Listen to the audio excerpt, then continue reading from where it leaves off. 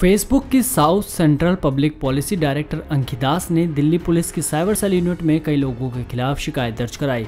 अंकी को online post और कंटेंट के ज़रिए कथित तौर पर जान से मारने की धमकी मिली है। बता दें कि अंकी दास फेसबुक में पब्लिक पॉलिसी डायरेक्टर हैं। उनका आरोप है कि एक विशेष राजनीतिक दल के साथ मिलकर कई लोगों ने डब्ल्यूएसजे में छपे एक आर्टिकल के बाद उन्हें टारगेट करना शुरू कर दिया है।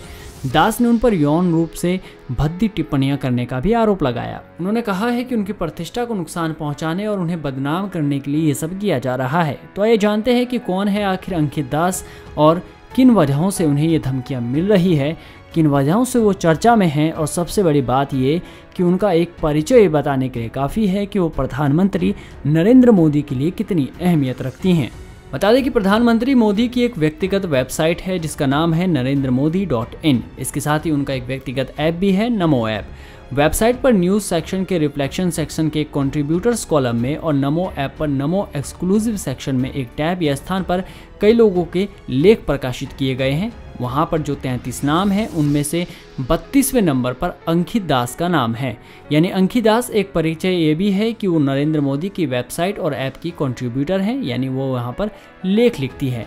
हालाँकि ये बात अलग है कि अप्रैल 2017 से ऐप के साथ जुड़े होने के बावजूद वहाँ उनका एक ही लेख दिखाई देता है, जिसका शीर्षक है, प्रधानमंत्री मोदी और शासन की नई कला। और इस वेबसाइट पर जो उनका परिचय लिखा है, वो ये है कि अंखीदास भारत और दक्षिण एवं मध्य एशिया में फेसबुक के लिए लोक नीति की निदेशिका हैं। उनके पास टेक्नोलॉजी सेक्टर में लोक नीति और रेगुलेटरी अफेयर्स में सत्रह साल का अनुभव है। वैसे अंकिदास मूल रूप से पश्चिम बंगाल की रहने वाली है। कोलकाता यूनिवर्सिटी के लोरेटो कॉलेज से ग्रेजुएशन किया। इसके बाद जेएनयू से इंटरनेशनल रिलेशन और पॉलिटिकल साइंस में मास्टर्स की डिग्री ली। दास अक्टूबर 2011 से फेसबुक से जुड़ी हैं। फेसबुक से पहले माइक्रोसॉफ्ट की भारत में पब्लिक पॉलिसी हेड थी। साल 2004 में दास माइक्रोसॉफ्ट से जुड़ी थी। यहाँ करीब सात साल सार्वजनिक नीति, कानूनी और कॉरपोरेट मामलों के निदेशक के तौर पर काम किया। अंकी दास फेसबुक में काम करने के अलावा कॉलम भी लिखती हैं। उनका नाम कुछ अंग्रेज़ी अखबार और अमेरिकी वेबसाइट के कॉलमनिस्ट लेखकों की लिस्ट में है। वैसे अभी उनके विवादों में आने का कारण सबसे बड़ा ये है कि फेसबुक पर रहते हुए उन पर किसी एक पार्टी को सपोर्ट करने का आरोप लगाया गया है।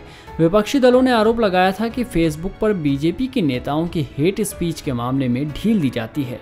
दरअसल ये सब शुरू हुआ जब एक अमेरिकी अखबार की रिपोर्ट में दावा किया गया कि फेसबुक ने बीजेपी नेताओं के नफरत फैलाने वाले भाषणों को रोकने के लिए कुछ नहीं किया। हालाँकि फेसबुक ने इस पूरे मामले पर सफ़ाई देते हुए कहा है कि हम हिंसा को उकसाने वाले हेट स्पीच और कंटेंट को प्रतिबंधित करते हैं। हम ये सब देखे बिना इन नीतियों को दुनिया भर में लागू करते हैं कि किसी की क्या राजनीतिक हैसियत है या वो किस दल से जुड़ा है। हम निष्पक्षता और सटीकता सुनिश्चित करने के लिए नियमों को और धारदार बना रहे हैं। साथ ही हम अपनी प्रक्रियाओं की नियमित रूप से ऑडिटिंग भी करते रहे हैं। पर फ़िलहाल तो इस मुद्दे ने अब भारत में राजनीतिक रंग ले लिया है। राहुल गांधी समेत कांग्रेस के कई बड़े नेताओं ने जहाँ इसे लेकर सत्ताधारी बीजेपी पर हमला बोला। दीपक कुमार, पंजाब केसरी स्टूडियो, दिल्ली। यदि आप ये वीडियो फेसबुक पर देख रहे हैं तो कृपया पेज को लाइक कीजिए। यदि आप ये वीडियो यूट्यूब पर देख रहे हैं तो कृपया चैनल को सब्सक्राइब करें और बेलाइकन को दबाना ना भूलें, ताकि कोई भी नोटिफिकेशन मिस ना हो।